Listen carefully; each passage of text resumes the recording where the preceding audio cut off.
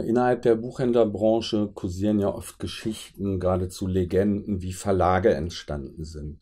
So sagen ja bis heute viele Buchhändler, der Goldmann Verlag stammt aus einer Zeit, als Silber angebaut wurde und die Leute vom Goldmann Verlag haben immer gesagt, das ist Goldmann.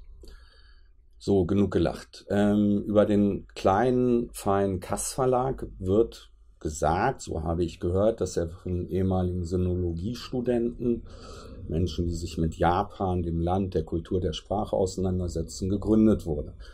Wenn das stimmt, dann kann ich nur sagen, Chapeau, weil was diese Leute in kleinen, feinen Büchern ausgraben, ist geradezu fantastisch. Das Buch von Herrn Fujiwara, Der Sonnenschirm des Terroristen, äh, spielt in den 90er Jahren, ist auch in dieser Zeit geschrieben worden und es geht um einen ganz, ganz besonders daherkommenden Obdachlosen, der diese Rolle sehr bewusst gewählt hat, um unauffällig zu sein, weil er seit langem von der Polizei gesucht wird.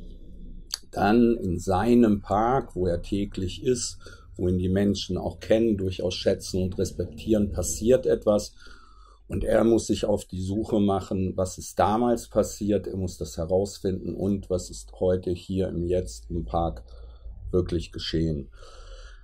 Und dieser Tonfall von der Sonnenschirm des Terroristen ist ähm, wie Tokio nachts, etwas leiser, ist fein, poetisch, ganz musikalisch und ist ein, ein wirklich feines Werk, wo es auch darum geht, wie stellen sich Menschen dar, was bewegen sie, wie gehen sie mit anderen Menschen um, was heißt Moral, Achtung, Ehre, also Themen, die in Japan vermutlich auch heute noch mit oder ohne Samurai durchaus an der Tagesordnung sind.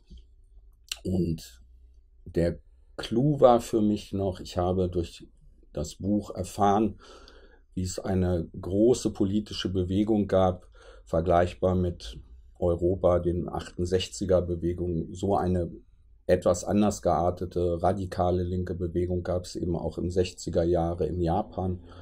Und äh, so habe ich einen außergewöhnlich feinsinnigen Roman gelesen, dazu noch quasi ein Sachbuch mit hineingebaut und das ist, ähm, da verneigt man sich. Danke.